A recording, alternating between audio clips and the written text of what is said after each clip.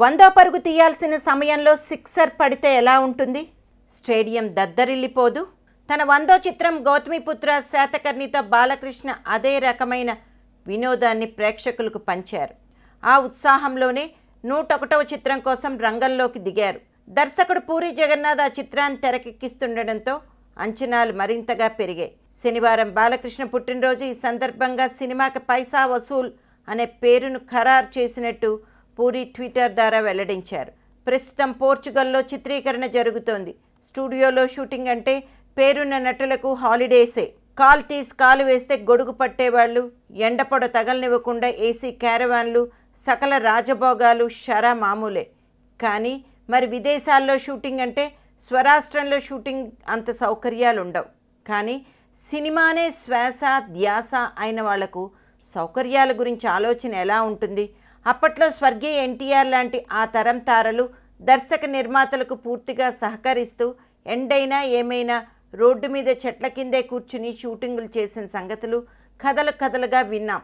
ఆయనకు ఆ తరానికి అసలైన వారసుడుగా తాజాగా పోర్చుగల్లో షూటింగ్లో అంతే ప్రశాంతంగా పచ్చిక బయలులో పడుకొని హీరో అనే అభిజాత్యం లేకుండా పనిచేసిన బాలకృష్ణను చూసి చిత్ర యూనిట్ ఆశ్చర్యపోయి కథలు కథలుగా చెప్తోంది.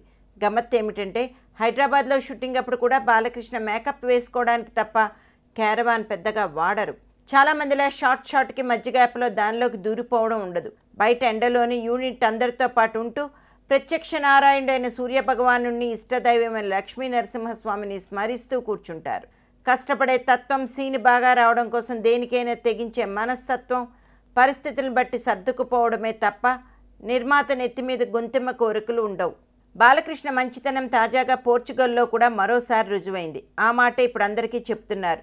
అక్కడ నెల రోజులుగా బాలకృష్ణ నూటొకటో సినిమా పైసా వసూలు నిర్మిస్తున్న భావ్యయ క్రియేషన్స్ అధినేత వి. ఆనంద ప్రసాద్ దర్శకుడు మాట్లాడుతూ కథకు తగిన పేరు కుదిరింది. ఇందులో బాలకృష్ణ స్టైలిస్ట్గా కనిపిస్తారు. అభిమానులకు పండగలా ఉండే ఈ సినిమా కోసం విదేశీ సాంకేతిక నిపుణులు యాక్షన్ కొరియోగ్రాఫర్లు పనిచేస్తున్నారన్నారు. మే పన్నెండు నుంచి పోర్చుగల్లోని లిస్బన్ పోర్టో సిటీలో అరుదైన ప్రదేశాల్లో చిత్రీకరణ జరుపుతున్నాం. ఈ నెల పదహారు వరకే షెడ్యూల్ కొనసాగుతుంది. బాలకృష్ణ పుట్టినరోజు సందర్భంగా శనివారం మధ్యాహ్నం రెండు గంటల యాభై నిమిషాల నుంచి ఫేస్బుక్లో లైవ్ ఏర్పాటు చేశాం. బాలకృష్ణ పూరి జగన్నాథ్ ఇందులో పాల్గొంటారు. బాలకృష్ణ పాల్గొనబోయే తొలి ఫేస్బుక్ లైవ్ ఇదే. భవ్య క్రియేషన్స్ ఫేస్బుక్ పేజీలో ఈ లైవ్ని చూడొచ్చు అన్నారు. బాలకృష్ణ నూట రెండవ చిత్రానికి కూడా రంగం సిద్ధమైన విషయం తెలిసిందే. తమిళ దర్శకుడు కెఎస్ రవికుమార్ చెప్పిన కథకి బాలకృష్ణ గ్రీన్ సిగ్నల్ ఇచ్చారు. ఆ కథ రాయలసీమ నేపథ్యంలో సాగుతున్న ప్రచారం సాగుతోంది. రెడ్డి గారు అనే పేరు పరిశీలనలో ఉన్నట్టు తెలుస్తుంది. సీకే ఎంటర్టైన్మెంట్స్ పతాకంపై సి కళ్యాణ్ నిర్మించనున్నారు. శనివారం బాలకృష్ణ జన్మదినం సందర్భంగా సి. కళ్యాణ్ మాట్లాడుతూ బాలకృష్ణ నూట రెండవ సినిమా రెగ్యులర్ చిత్రీకరణ వచ్చే నెల పది నుంచి ప్రారంభిస్తామని తెలిపారు. ఈ చిత్రానికి కథా మాటలు ఎం. రత్నం.